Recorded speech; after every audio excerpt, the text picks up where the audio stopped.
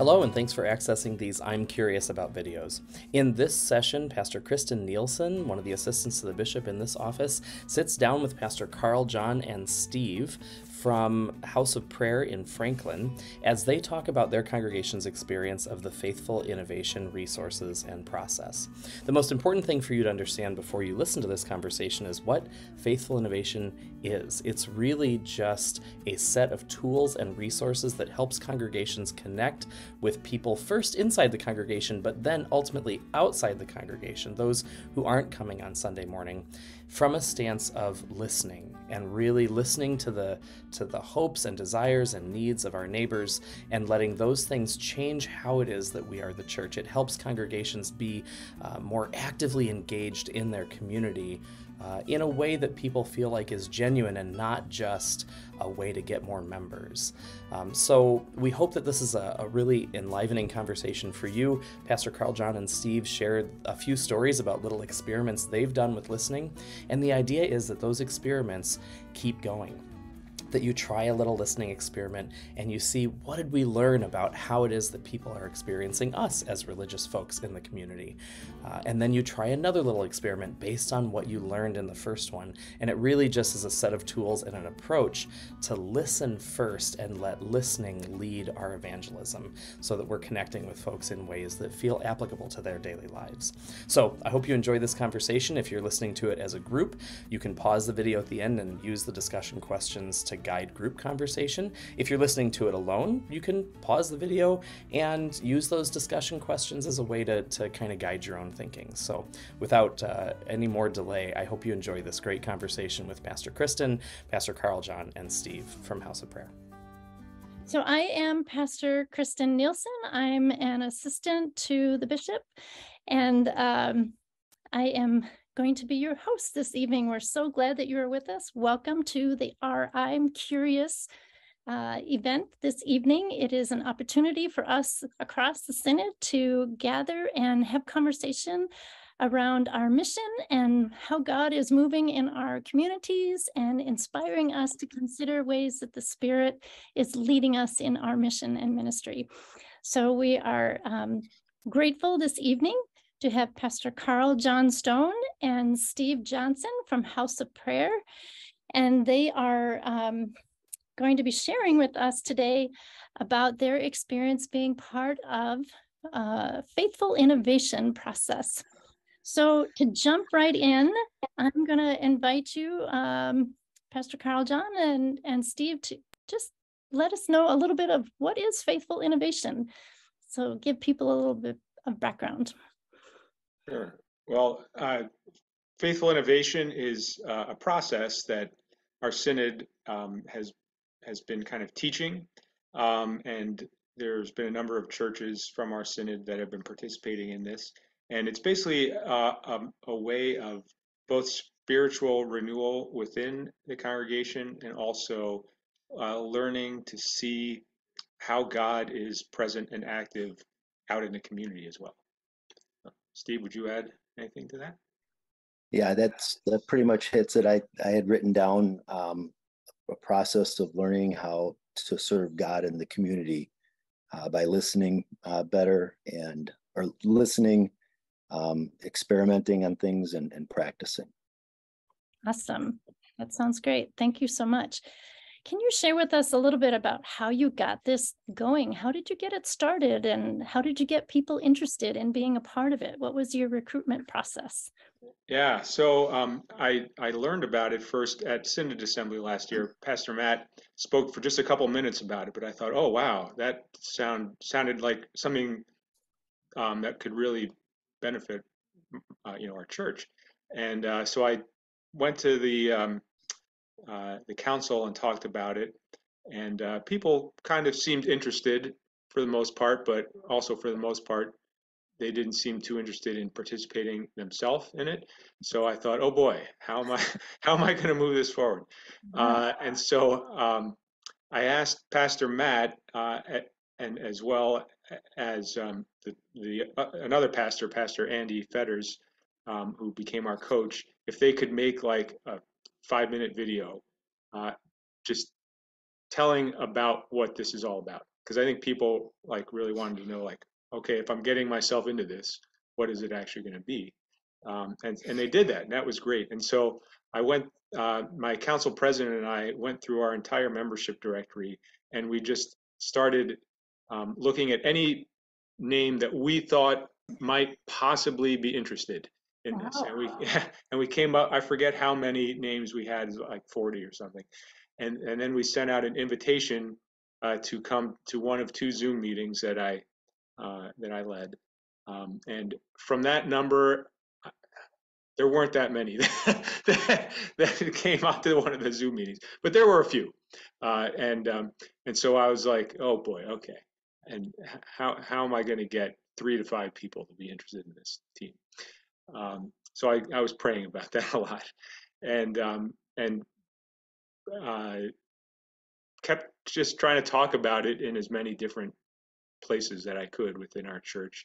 Mm-hmm. Um, and we're getting closer and closer to the time when we were supposed to, you know, turn in our list of team members. And you know, within like the last couple weeks, we got like five people, and I think Steve was the last one to yeah. to sign up. But we're glad you did. awesome. How so? How long do you did you um, when did you start, and how long did it kind of take before you got to that? Oh, okay. So um, so I learned about it uh, in May, last May from Synod Assembly, and probably in June I uh, talked about it with the council for the first time, and I mm-hmm. think I talked to my council president before that. Um, and so then we had the summer basically to try to recruit people. Uh, so you know that was probably mostly in August that we were trying to recruit people, um, and then uh, and into September.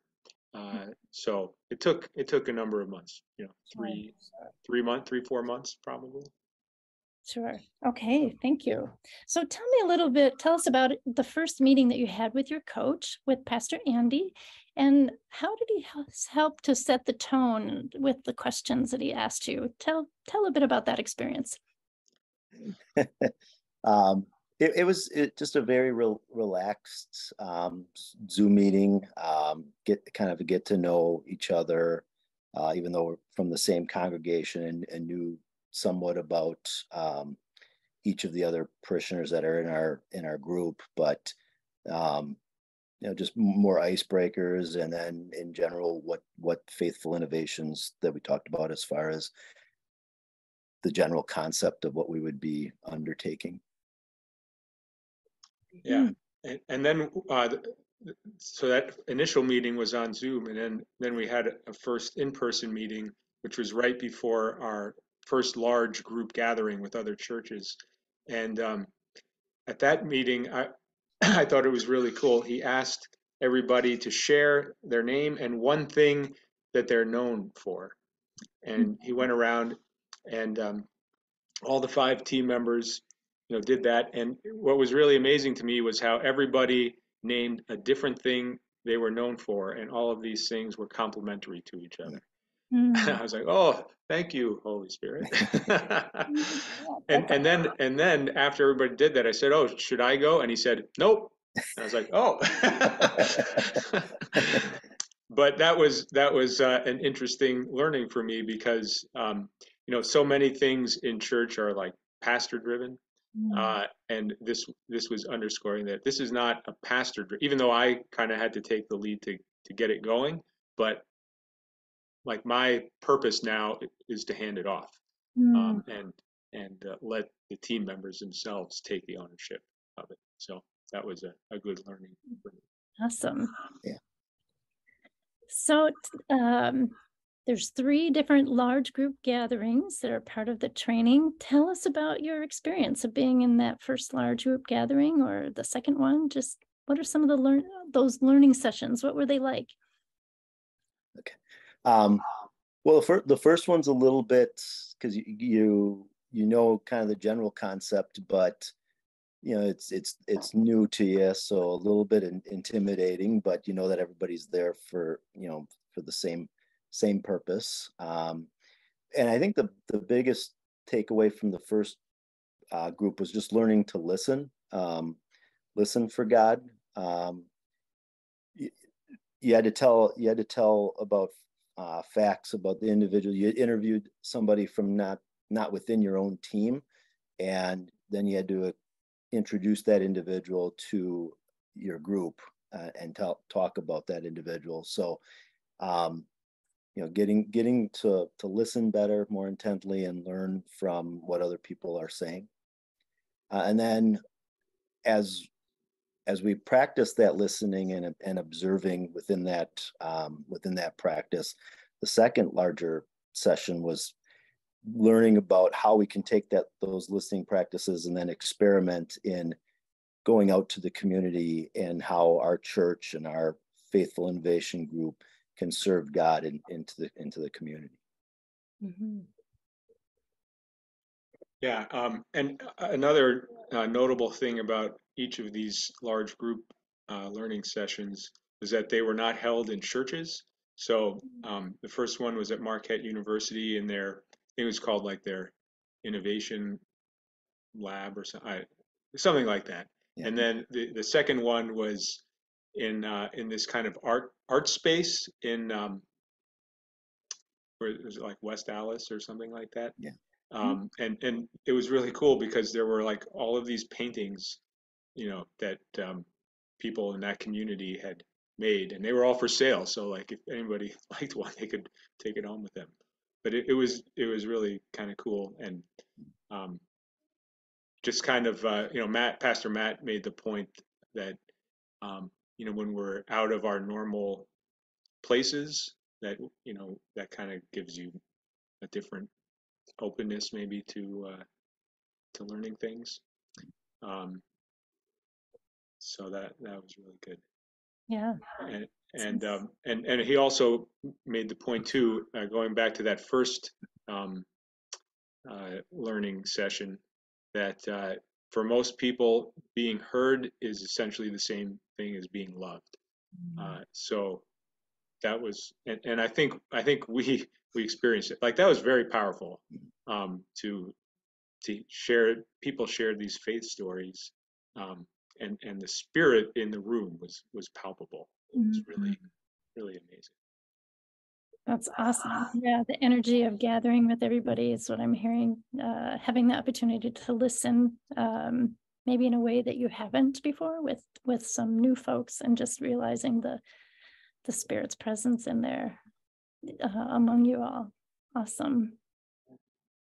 So tell us a little bit about, you talked about there's some initial experiments. Uh, Steve, you had mentioned that, that um, you were invited to do as a team.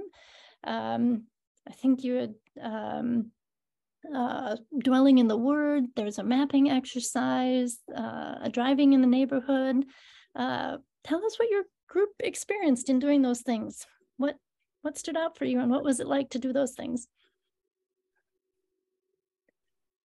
Yeah the, well the dwelling in the word um so oftentimes in in church you you, you listen to it but you don't you, you don't really like think in depth about it. You, learning to kind of take your time and take a pause after because we, we read it once and then take a pause and then read it a second time and allow it to kind of sink in and, and truly listen to what those words are are trying to say or what what God's trying to say within those uh, within those words. It's amazing the uh, the passage that we've read from October till now, and even you know, however many months later that we read it, and something new pops up in our our discussions with uh, within the group.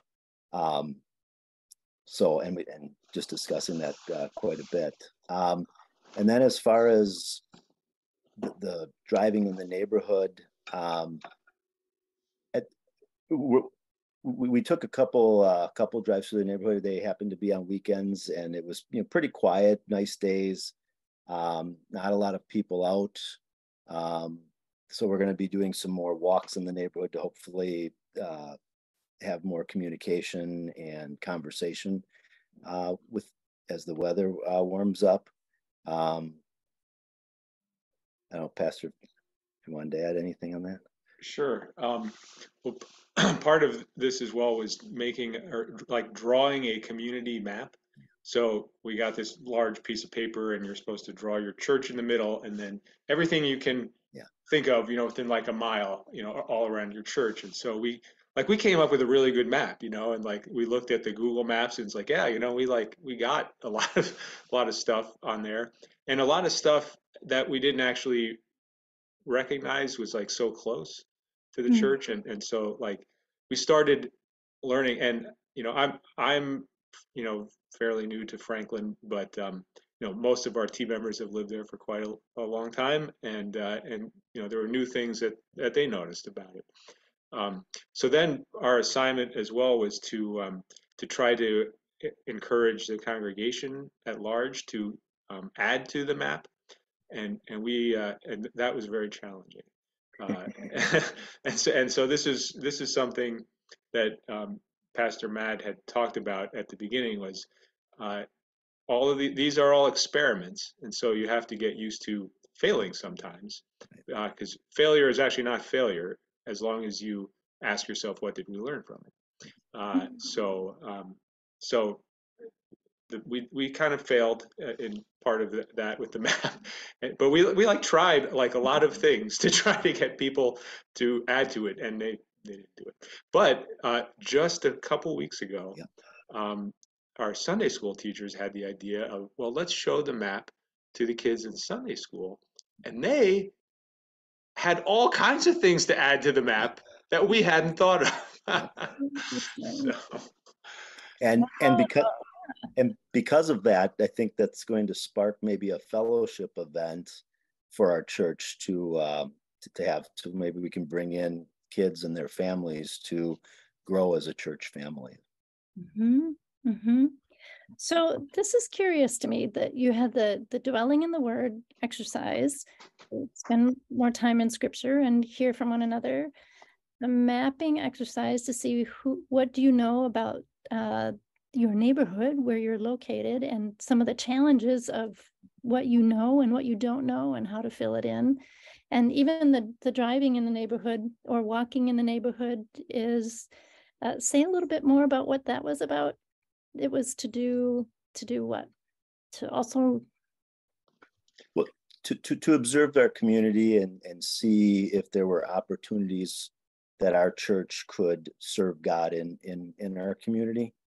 Um, and, and also see where God's working within the community. I mean, so often we think of God in, in our church and, and really God's not just confined to, to just our church. God's everywhere. God, God has everything. So, um, it's not it's not keeping us boxed into just house of prayer the building but where can we take um i guess god's love out into the community and, and kind of intermingle with with the community. Hmm yeah thank you. So um sort of practicing um just seeing beyond the church the church walls and into the community. Because what you name sounds kind of um simple but would you say that it's simple to do these things? What what, what did I you mean, learn from it? yeah, go ahead, Steve. I don't know if i would say simple. I, I mean it's a process. Um it, you got experiments and like pastor said it it's not failing. It's trying something and if you if you stub your toe you stub your toe and hopefully learn from it and then try something something different. Yeah, yeah, awesome. Um, so you kept going, uh, tried more experiments, kept trying things out, and I love hearing the fact that then uh, the kids had had a whole lot of things to add to the map. Uh, what a wonderful um, reflection of how maybe there's people we need to ask uh, what they're seeing uh, to help us broaden our the fuller picture. That's really really lovely. Um, I understand you did another experiment in the snow park. Can you tell us about that?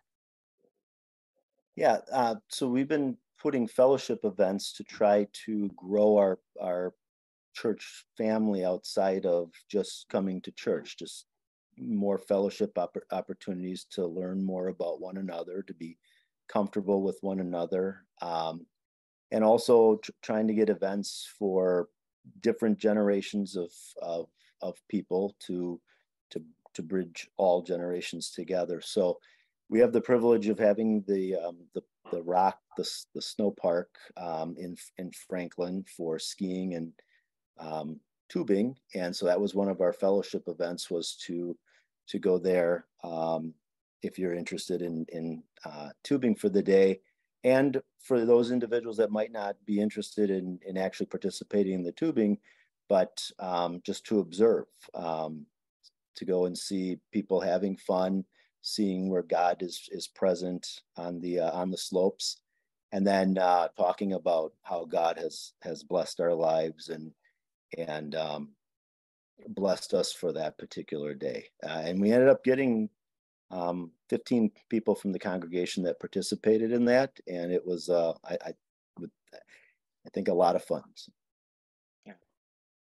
Well, and and also you know before we had this outing with the congregation at large, um, a few of the team members like just went to the rock, and this was supposed to be like the the first experiment outside of church, and uh, and so they kind of settled on the rock as the place to go. Um, I, I wasn't able to go to that one, but um, but they didn't know like what they were going to do once they got there. Mhm. but, but you know, I think what they did, you know, upon reflecting on it, it was like it was really very similar to what you do for dwelling in the Word, which is what do you notice? Um, what uh, you know, what is God nudging us to to see here and to do and um, how is you know how is god present so, you know what questions do we have about being in this place and eh, i mean i was really like astounded at all the ways they they saw the evidence of god's presence in in this place where you would normally you would never think oh yeah i'm going to go have an experience with god at, at the rock today you know Yeah. Do you have any examples to share with us? Some of the kind of things that people noticed? Yeah, um, so a couple times people wanting to race down the different, so letting somebody go ahead of ahead of them in in line to participate or, or vice versa. Um, I was wearing a um, I- I'm a, a Minnesota Vikings fan and just one of the uh, the individuals that work there just commenting, harassing me a little bit and just jo- jovial conversation back and uh, back and forth. Uh, we noticed the beautiful day that God provided uh, for us, but uh, and and the friendliness of the staff and just everybody having a good time. Even the the, the larger group, not just the House of Prayer group, but um, the interactions, the fr- the friendliness that uh, we had with people. Hmm Yeah. Anything else you would add from what you heard from people, Pastor? Um, yeah, I think I think that's that's the gist of it. Yeah. Yeah. Awesome.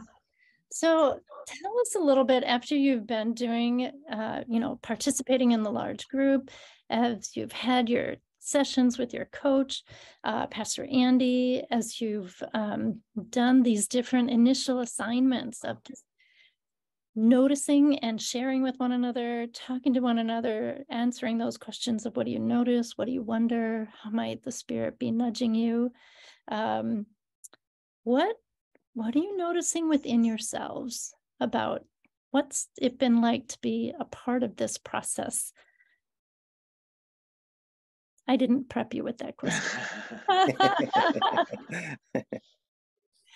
well, it it as you get more experience and, and with the with the process, it's becoming easier. I know, I think I can speak for the the the small group that's going through the faithful innovate innovations. We just bounce ideas off one another. Uh, the conversation is very free flowing. I think we've all grown in our our- in our listening and and ex- experimenting and and really enjoying the the process.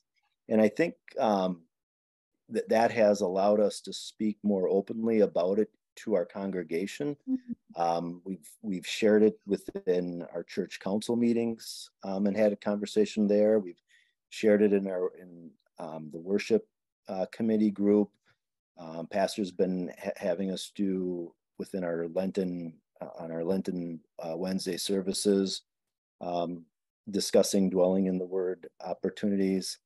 So just just getting people to open up and talk more and and and, and dwell uh, in the Word, and then hopefully I think um, we haven't gotten quite to this point, but then being more free about opening up to individuals beyond the uh, house of prayer. So when we go to like the snow park, um, maybe seeing opportunities where we can converse more freely and dwell in the word with with individuals not not at house of prayer. Um, so Yeah, thank you. Yeah, uh, yeah, that, that's all. That's great, Steve. Um, I think uh, just gaining like a more of an openness to to the ways God surprises you in in uh, the you know in the ways God shows up, and uh, um, that people uh, are like willing to to try things uh, that are um, a little out of the box, and and that actually reminds me of the name we selected for our team. Uh, one of our team members came up. So we're House of Prayer, so we always abbreviate ourselves as HOP or HOP. So so we call ourselves the Hop Outside of the Box team. I love it. That's great. yeah. And and that that name I think has really set the tone for our team because people uh, on on the team are just they're willing to say, okay, I know this is a little out of my comfort zone, but I'm I'm going to try it, you know, and uh, and they do, and and you know they they can do it. So um, it, it's just really cool to see that, um, and just how many layers like you, you can uncover or that God can uncover, you know, just by um, like not not rushing, you know, um, Mm, and just allowing things to to be revealed. that's Yeah. really lovely. Yeah, go ahead. yeah, I would I would just to to your point, Pastor. it- When, you said rushing, I mean, I think we live in such a fast-paced society, and we're rushed to do what's ever next, and and we don't take the time to just really appreciate how God's in our life right right then and there at at, at certain moments. hmm That's lovely. I hear from you, um, from you both, uh, a, a playfulness and excitement. Um, as you said, uh, Pastor, I um, a willingness to try something and not be afraid if it doesn't uh, turn out exactly maybe the way you thought. Um, so maybe some look at it as failure, but then you can say, what did we learn, and how do we keep going and try something else that that uh, that persistence to keep going and see what see what you will learn together and what God might be up to among you. It's um, it's really fun and it's evident to hear as you're sharing. So that's really cool. All right. Well, I have a couple questions for you, some uh, follow ups for you. Um, how has this process influenced you personally? Just for me, just growing, uh, being more open and and growing with my fellow parishioners at House of Prayer and and learning to listen better and and spread the spread that message with others. Um, Yeah, thank you. Yeah, I think um, right, just uh, realizing um, that God is God is working in in everybody in in some way, and uh, so how do we notice what that is and and listen listen to um, you know those nudges and um, yeah, I think Steve you mentioned just a more of an openness, and I I think that's that's the word I would use. Hmm, awesome. You, yeah, go ahead. Uh, Um, Kath- Kathy, yeah. Um, what's been the buy-in from the members of your congregation and uh, roughly what's the size of of your congregation? Um, our, we have about 180 members altogether, and uh, on the average Sunday, probably 50, you know, 50, maybe 60, Mhm. uh, depending on the week. Um, and I'd say there's been a good buy-in. Um, people have really um, taken to to this.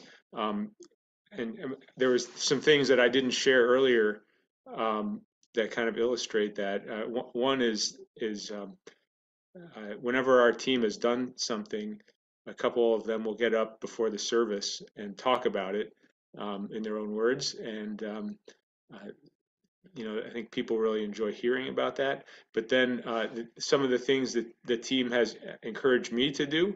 Um, so um, when they when we practiced in that first large group session listening to one another's stories and they said oh you should try that for the thanksgiving eve service. Uh, so i said oh okay well, we'll try it. So um, so you know i think i maybe spoke for a couple minutes and then i turned the rest of my sermon over to allowing people or inviting people to to share um, something that they were thankful for with somebody near them. Uh, and and people really enjoyed that. And then uh, our team met, you know, a week or two later, and they said, "Oh, you should do that for Christmas Eve." I said, "Oh, really?" and so I did. And you know, Christmas Eve, you have like so many people that that's the only time they come. Um, but I I invited people to share with somebody near them. No, I, I even did. I even say get up and and find. Yeah, I think people moved around Right. um, and and but share a favorite holiday tradition um, and and they they did and e- like everybody participated and like afterwards people were like commenting like that was so great you know? Um, and um, and then as well as we're when we're doing this um, for our Wednesday evening Lenten services and um, you know the, the first week I said okay we'll take like 15 minutes to do our dwelling in the Word, and then um, and then the next day somebody emailed me and said, "Oh, that wasn't enough time." So then I bumped it up to like 20 minutes, and then um, and then last week when we did it, I didn't even set a timer, and, and, and finally I said, "What time is it?" And it was like 7:50. You know, we'd been doing this for like 35 minutes or so. So I'm like, all right, let's wrap it up. But eh, but then the, the the the other cool thing is like people will then just stay after the service and just talk with each other, um, you know, because they're they're uh, building those connections that maybe they um, hadn't done to the same degree before. So it's, it's been really cool. Yeah. I, just just the openness and a lot more conversation, uh, watching a lot more conversation and dwelling in that word more, de- uh, definitely. So I would say yes to that buy-in. Yeah, and, and the dwelling in the word, I think some a lot of times people don't get it at first, um, but after experiencing it, um, I think most most people find it to be a very valuable experience, especially as you do it more than once, because every time there's another layer that gets peeled back, and you're like, oh, I didn't know that was in there, you know, and God just keeps talking to you in all Yeah. these different ways. Yeah, and and actually at, at our church council meeting when we initially brought it up, I think there was a member or two that after we read through the dwelling in the word, and it's perfectly okay, mentioned, well, I'm as confused as I was before we, we read this. I really don't understand it. And you know, we have the open-ended questions and, and, and you know, that's okay because because we're experimenting and practicing and it's okay not to understand it. We're we're not supposed to understand it every single every single day. It's just practicing it and and learning from it and and getting better.